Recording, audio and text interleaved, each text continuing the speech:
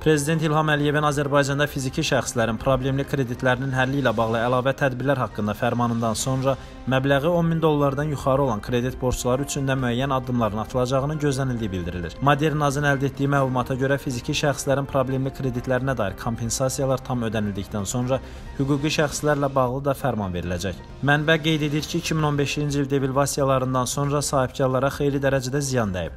Onlar da devalvasiya nəticəsində daha çox kredit ödənişi etmək məcburiyyətində məcburiyyətində qalıblar. Bu səbəbdən də 10 min dollardan yuxarı kreditlər məsələsi müzakirə edilir. Hazırda bununla bağlı bir neçə həll variantında təkliflər hazırlanır. Yaxın vaxtlarda təkliflərin ölkə başçısına təqdim ediləcəyi gözlənilir.